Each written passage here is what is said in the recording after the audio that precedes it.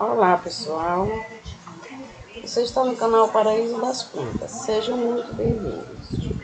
Gente, passando mais uma vez para agradecer aos inscritos e aos não inscritos por prestigiar o meu canal, por comentar, continue participando, pois é muito importante receber comentários de vocês.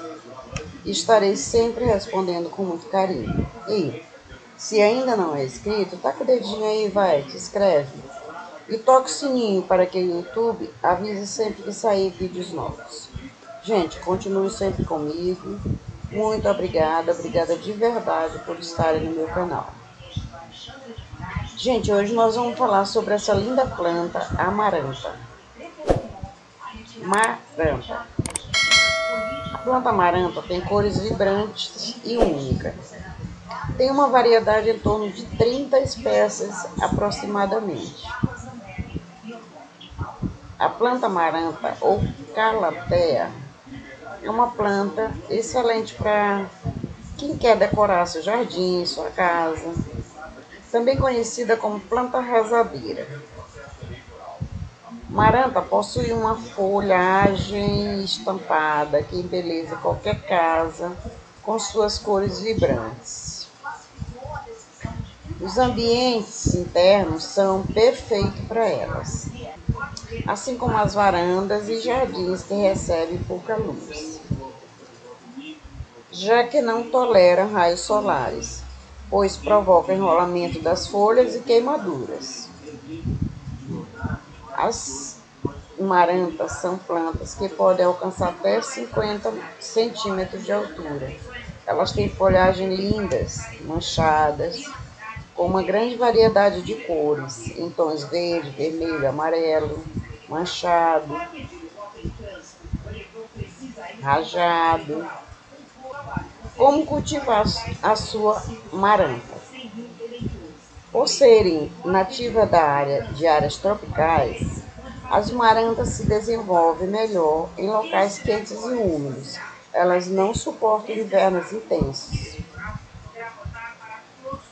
Essa planta gosta de luz, ela precisa estar sempre à sombra, para que suas folhas sensíveis fiquem protegidas do sol e não queimem as folhas.